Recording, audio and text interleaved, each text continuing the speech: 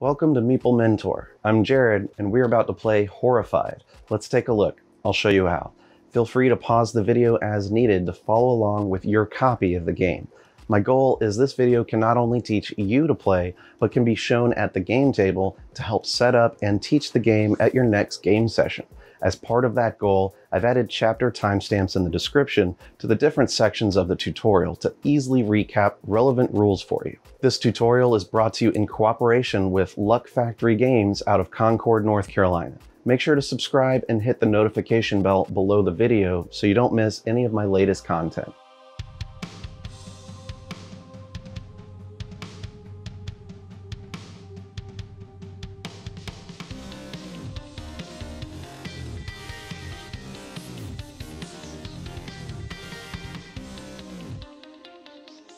The game of Horrified is based entirely on the old Universal monster movies like Dracula, The Mummy, The Invisible Man, and others. Players will work together cooperatively to defeat each monster you're playing against that game. It's a game where you win together or lose together. Each monster must be defeated in a different way through completing unique tasks. Avoid being attacked and defeated too many times, as this increases the group's terror level. Don't forget to help the townspeople as well. To set up the game, first lay out the main game board in the middle of the table. Place the terror marker at zero on the terror level track. Shuffle the monster cards into a face-down deck beside the game board. Then shuffle the perk cards and set that by the board as well. Place the 10 villagers and 3 attack dice by the game board. Now you'll need to decide how difficult you want your game to be. When playing against a monster for the first time, it's recommended to only use two monsters in your game. You can always choose the monsters to fight against each game. A standard game uses any three monsters of your choice. For a real challenge, include four monsters. If you're new to the game completely, the rules recommend you play against the creature from the Black Lagoon and Dracula. Grab each monster's corresponding mat and place them in a row next to the board, ordered from lowest to highest frenzy place the fire frenzy marker on the monster mat with the lowest frenzy number. I'll explain now setting up the player's area and afterwards come back to each monster's unique setup. Each one sets up a bit differently. First, give everyone a reference card. Now, mix up the various hero badges face down and deal one at random to each player. Then collect the hero standee that matches the color and picture. The rest of the hero badges and hero standees can return to the game box. Each hero's badge indicates the starting location for them. Each hero should be placed at their starting location named on the game board. Each player should take one perk card off the top of the deck and keep it face up near their hero board and reference card in front of them. Place all 60 item tokens into the cloth item bag. Mix them up and draw out 12 randomly from the bag. Each one shows a location on it. Place each of the 12 items out on their indicated spots on the game board. Keep the bag of items near the table. The player who most recently ate garlic takes the first turn. Now I'll go through the special setups for each monster, starting with the two recommended for your first game. Any monsters you aren't fighting in your game should return to the game box along with their mats and unique components. The convenient part of setting up each monster is that their setup instructions are found on the back of each monster mat. When playing against the creature from the Black Lagoon, place the camp overlay on the board on top of the camp space. The creature's figure starts at the lagoon space. On his mat, place the boat at the starting X spot. When playing against Dracula, place his figure at the crypt space to start places four coffins on the board with the red icon facing up at the crypt, the dungeon, graveyard, and cave. To set up Frankenstein's monster and the bride, first put Frankenstein's monster at the graveyard and the bride at the dungeon. Set out the two dials on their mat, yellow for Frankenstein's monster and blue for the bride. Their images should be face down. Align both dials so they are pointing to zero. When using the invisible man in your game, place the precinct overlay over the precinct board space. The invisible man's figure starts at the inn. Against the mummy, you'll need the museum overlay laid on the museum board space. The mummy figure starts at the museum. Take the three scarab tokens, numbered 1 to 3, and mix them up face down. Place them randomly at locations 4, 5, and 6 of the tablet. Do the same with numbers 4, 5, and 6 on the 1, 2, and 3 spots. The center spot should be empty. Place the soul sign token next to the board. To set up the Wolfman, place the laboratory overlay on the lab board space. The Wolfman figure starts at the mansion space. Place the Cure token on the flask outline on the right side of his monster map. Place the Hunted emblem next to the board. Starting with the first player, the game plays clockwise with players taking turns one after another until the game end is triggered. This can happen if the terror track reaches the end, if you've defeated all the monsters, or if you run out of cards in the monster deck and must draw one. Each player's turn has two phases, the hero phase first, followed by the monster phase.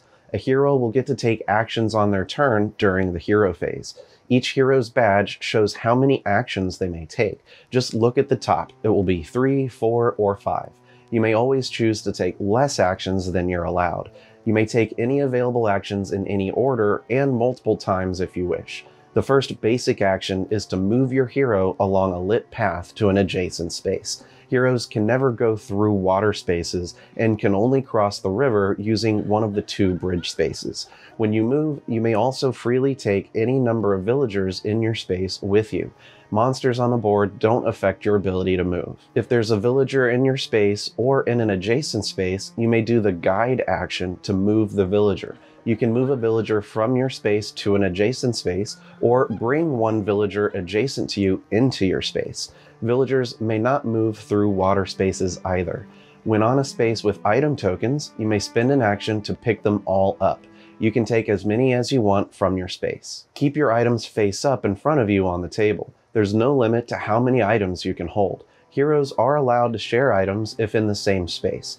As an action, a hero may freely give or take any number of items from each other. It doesn't need to be one-to-one -one trades or even involve your hero. If two other heroes are with you and you need them to exchange items, they may do so as part of your action, even if you don't give or receive any items personally. As you're in specific locations related to advancing a monster's task, you must spend an action and use an item to do it. Each monster has different tasks and requirements, but using an item to advance their task does take an action. When you're allowed to attack the monster directly, you may choose the attack action against a monster in your space. You'll use items to defeat them. Remember, a monster's task must be completed before being allowed to defeat them. Each hero has a special ability printed on their badge. Using this special also costs one of your actions. Just read what it says, they're all self-explanatory. During the hero phase, you'll want to help direct villagers to where they need to go. They can be added to the game board during the monster phase when certain cards come out. When that happens, find the villager specified on the card and place it on the map at the space it says. There's no limit to how many villagers can be on the board at one time. Each villager has a safe location printed on their standee, indicating where you should guide them to. Use your move and guide actions to get them where they need to go. They don't move on their own. Your reward for helping a villager get to their safe location is to draw a perk card from the deck. The villager gets removed from the board. Escorting villagers gains you perk cards during the game, in addition to the one dealt to you at the start of the game. Players should keep them face up in front of them and let other players know what they have. It is a cooperative game after all.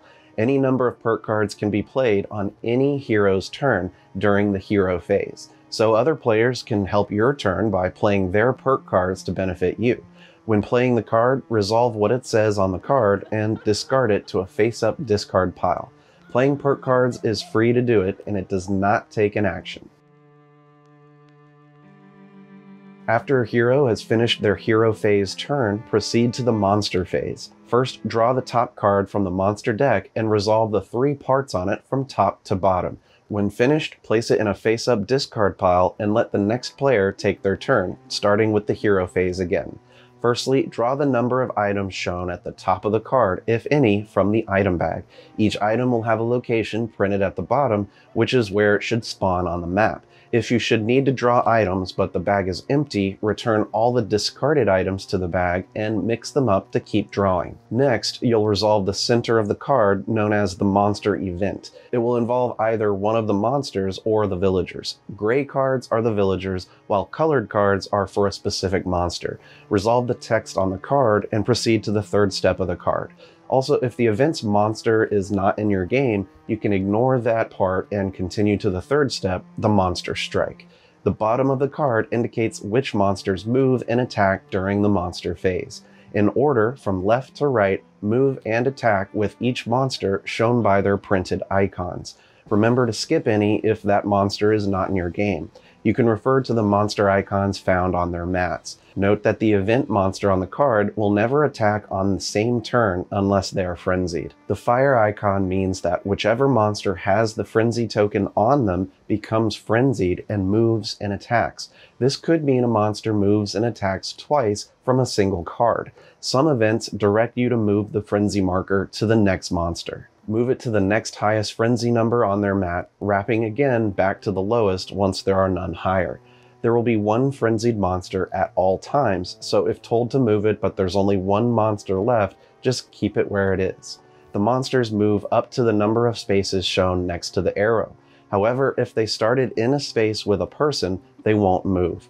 When moving, they'll always move toward the closest hero or villager taking the shortest path possible. If different paths are equally valid, the current player decides which way they move. Should a hero and villager be equidistant, the monster will prefer to move toward the hero. If its path is equal to different heroes, the current player chooses which. Generally in ties, the current player decides. After a monster resolves its move, if it is in a space with a villager or hero, it will attack with a number of attack dice printed on the card shown next to the die. If the monster is alone, it won't attack. The monster will attack a hero instead of a villager if both are in its space. If multiple heroes are in its space, the current player decides who it attacks before rolling the dice. This symbol rolled means the character was hit by the monster once per number of hits rolled. The exclamation symbol means the monster's special power is activated once per power symbol rolled. Refer to the monster's mat to see what it does in this case. Hits are always resolved before the powers. When a monster attacks a villager and rolls a hit on one of its dice, the villager is defeated and removed from the board. Then you must increase the terror level by moving the marker one space forward on the terror track. Heroes cannot prevent the villager's death. When a monster attacks a hero and rolls a hit, the hero is defeated. However, they may discard one of their collected items for each hit received to prevent this. If they don't have any items or choose not to use any, they're defeated. Increase the terror level by one space and remove the hero from the board. At the start of their next turn, place their hero figure on the hospital space and take their turn as normal. They don't lose their items or perk cards. Each monster has special tasks to complete in order to defeat them. Once their tasks are completed, you'll generally then be able to attack them. Each monster makes use of the items you collect during the game. The items are either blue, yellow, or red, indicating its type. Red are physical items, blue are intellectual, and yellow are spiritual. The strength of the items varies. The number shown at the top of the item token is its strength value. The location printed at the bottom is simply where the item is placed when drawn from the item bag. When using items to complete tasks, check to see the iconography shown on the monster's mat. If just one item is shown, you may only use one item of that color per action. If there are three shown on the mat, it means you can use any number of items in that color in a single action. The strength of the items are all added together to determine if you've met the strength goal. You must meet or exceed the goal value. Anytime an item is used, place it in a discard pile next to the game board, unless the special action tells you to place it on the monster's mat. Items don't automatically return to the bag. Once a monster is defeated, they are no longer considered to be in your game. You should ignore any further events or monster strikes for them for the rest of the game. If the defeated monster had the frenzy marker, move it to the next one. Any items on their mat should go to the discard pile all of the monster's components can be removed and returned to the game box. Let's go through each of the monsters you could have in your game. The creature from the Black Lagoon has special movement available to it via the three water spaces, the lagoon, river, and waterfront. He's the only one who can move in these spaces, so when he moves, you should consider the water paths as well for determining his shortest paths to his targets. His required task to be defeated is to find the hidden lair. The heroes embark on an expedition aboard the Rita to explore the lagoon. This all happens on his map. While at the camp, a hero may take an action to search the lagoon. Discard one item of any color to move the boat to the next X on the path of the same color. By carefully choosing which color item to spend, you can move the boat further with each advance action taken. The lair is represented by the final blue X at the center. The last item used must be blue. While the boat is at the lair, you may attack the creature and drive it away. A hero in his space may take an action to defeat him by discarding three items, one of each color. The strengths don't matter. He's then defeated and removed from the game. Dracula's special task for the heroes is to smash the four coffins around the village. While in a space with a coffin, a hero can take an action to smash it. They must discard any number of red items with a combined strength of 6 or more. Then you can flip the coffin token over to show it's been smashed. Place it on Dracula's mat in the spot for it. Note that coffins aren't items and can't be picked up. Once all four coffins are destroyed like this, you can defeat Dracula. While a hero is in his space, they may take an attack action to discard yellow items to defeat him.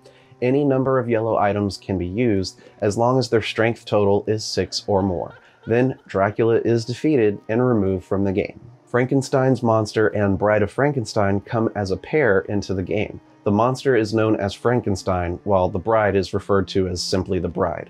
To defeat them, you must teach them what it means to be human so they can live happily together but if they meet before you complete this task, they send each other into a fit of rage. Whenever they are in the same space before their task is completed, increase the terror level by one and return Frankenstein to the graveyard and the bride to the dungeon. They have their own symbols and are treated as separate monsters for monster strikes on the cards. When the frenzy icon appears in a strike, move and attack only with Frankenstein. To teach the monsters, players must spend yellow items on Frankenstein and blue items on the bride. They each have a dial on their mat. When taking an action to teach Frankenstein in his space, discard one yellow item and increase his humanity score by the strength of the item. Then you may move him in any direction the same number of spaces to help prevent them from meeting. The task action works the same way against the bride, but uses a blue item. Once a dial has reached its maximum, you can flip it over to show they are ready to meet. You may still take the action once the dials have flipped to force them to move together faster and defeat them. As soon as they meet, they are defeated immediately and removed from the game. To defeat the Invisible Man, heroes must supply evidence to the police to prove he exists. While at the precinct space, a hero may take an action to spend an item of any color to advance the task. The item will be placed on his mat on an empty spot matching its color. Only matching colored items can be spent for empty spots on the mat. Once all five spots are filled, you can defeat the Invisible Man by trapping him. While in the same space, a hero can take an action to discard any number of red items to meet a total strength of 9 or more. Once done, he's defeated and removed from the game. The mummy enemy believes one of the heroes is the reincarnated souls of his true love and wants to lure that hero to him. The first time a mummy event is resolved, the current player gains the soul sign and moves towards the mummy that player keeps it the rest of the game. To break the curse, players must align the six scarabs on the tablet. While at the museum, a hero may take an action to discard one yellow item and make as many moves as the strength of that item. A single move on the tablet is sliding a scarab along a groove to an adjacent spot or flipping a scarab face up. You don't have to do the full amount of moves. Once all six scarabs are face up and in the matching spot for their number, you may defeat the mummy by returning him to his tomb. While a hero is in the same space as the mummy, they may then take an action to discard any number of red items with a total combined strength of 9 or more to defeat him. Remove him from the game. The Wolfman has a vision of which hero will be his next victim. The first time a Wolfman event is resolved, the current player takes the hunted emblem and the Wolfman moves towards that hero that hero keeps the emblem for the rest of the game, much like the mummy. The heroes will need to discover the cure for lycanthropy by testing ingredients and formulating the antidote. While at the laboratory space, a hero may take an action to test an ingredient. Each empty item spot on the Wolfman's mat must be filled. Heroes may use one blue item per action to place it on the mat where the strength number matches. Once all these are filled, the current hero gains the cure token. It may be transferred to other heroes with the share action like other items. The cure can never be used to ignore a monster hit though. Whoever is carrying the cure can defeat Wolfman. While in his space with the cure, discard the cure and any number of red items with a combined strength of 6 or more.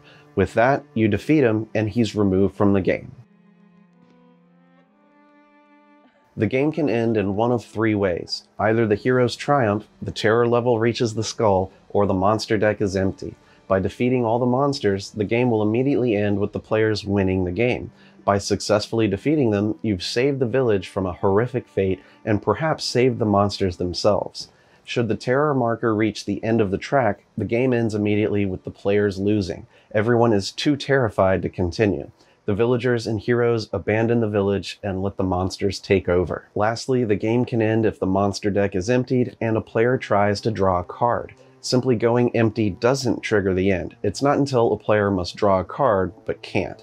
The game then ends with the players losing. Unfortunately, the heroes took too long to save the village. The villagers have all fled, and there's no town left to save. If you choose to play again, you may want to do so with different monsters or more monsters for more difficulty. Also, you can choose to let players select which heroes to use based on their special abilities. They may also decide who should be the first player. It is possible to play Horrified completely by yourself, the villagers are more fearful if there is only one hero trying to save the village, so the terror marker starts at 3 on the terror level track in a solo game.